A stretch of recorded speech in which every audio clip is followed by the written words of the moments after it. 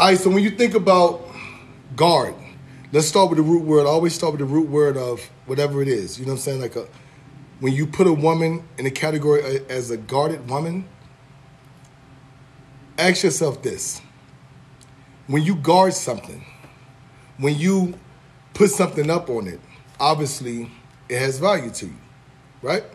If you go to a, let's say you go to an Airbnb, right? Let's say if you go to, go on a trip and you Airbnb it at night, you make sure that it's locked. You make sure the doors are locked, that it's secure, the back door, the front door, you know what I'm saying? Like this is a new area for you. So you want to make sure that it's secure. Why? Because your laptop, your belongings, your valuables, yourself, maybe your kids, wife, husband, your loved ones is inside the Airbnb. So you lock it to protect it, to guard it because it's valuable. So when a person's guarded, then a lot of times they have high self worth, high self value. They view themselves as valuable, so they guard themselves because they don't want to let anybody in. You don't want to let anybody through your front door and just roam around your house. You don't want to let anyone in your car just come and sit down like you're Uber, even if you're not Uber. If you are, you know, whatever. But if you're not, you don't want to let anybody in or close to stuff, stuff that you care about.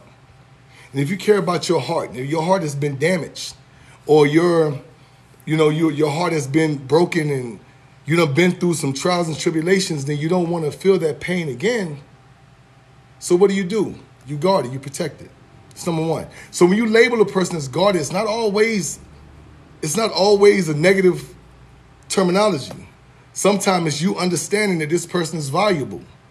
So, if, ladies, to you, if guys, if if a man has called you too guarded, then what he's saying in hindsight is you got your your standards are too high, possibly for him, which is also an okay thing, right?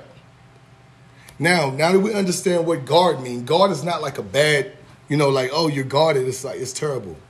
It's not when a woman has value, when she has self-awareness, when she know what she brings to the table, then not only do she guard and protect it, she also is very selective with who she allow past that. Once they get, you know, once they prove themselves, she's very selective even then with letting somebody close to her. Because when you let somebody close to you, you allow yourself to be vulnerable.